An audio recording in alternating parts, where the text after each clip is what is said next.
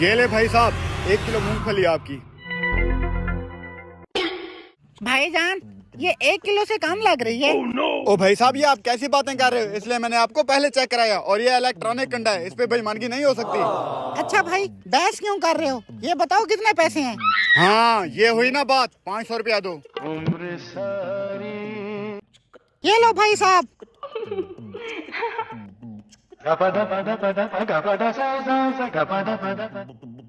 हाँ भाई कैसा चल रहा है काम? ऐसा करता हूँ मालिक को पूरे पैसे दे देता हूँ। ये भी इम्प्रेस रहेगा और मेरा काम भी चलता रहेगा। उस्ताद जी एक किलो मूंगफली बिकी है पाँच सौ रुपए की।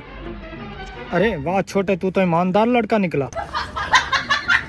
सर्दियाँ निकाल लें गर्मियों में मैं फलूदा लगाऊँगा उसमें भी आपको रखूँगा। हाँ हाँ उस्ताद जी क्यों नहीं? बचपन से ही ईमानदार लड़का हूँ मैं। तू देखता जा बस। अगले दिन। यार आज तो कोई गाहक भी नहीं आ रहा। तू ऐसा कर मुझे मूंगफली दे मैं चलूँ। अरे बुद्धू पागल तो नहीं हो गया। हमने उस्ताद को बेनिफिट बराबर देना है। जो लूटना है कस्टमर को लूटना है। ताकि इस रेडी पे ज़्यादा से ज़्यादा चल सके। आगे फलूदे का मौसम आ रहा है। वहाँ भी तो बेईमानियाँ करनी है ना। समझो कर कुछ। ये तो मैंने सोचा ही नहीं था। तू तो बड़ा हरामी निकला रे।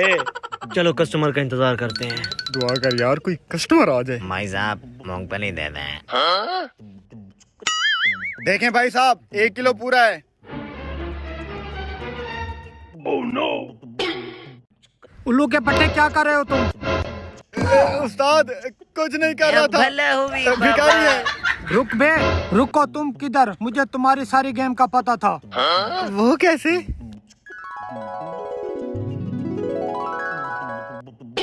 हैं? ये लड़का तो बालू की बर्बादी कर रहा है। बालू मेरा बचपन का यार है? उसको लुटने नहीं दूँगा। बालू को बताऊँगा।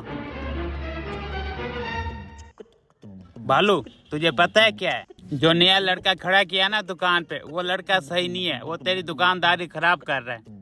वो कैसे? वो ऐसे जब वो कस्टमर को मूंगफली देता है ना उसमें से आधी निकाल के अपने दोस्त को दे देता है। ये तू क्या कह रहा है? मैंने अपनी आँखों से देखा आप ये दिखाऊँ। आ जाओ देखते हैं।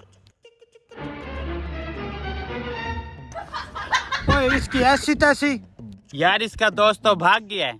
मैं इसे रंगे हाथों पकड़ूँगा।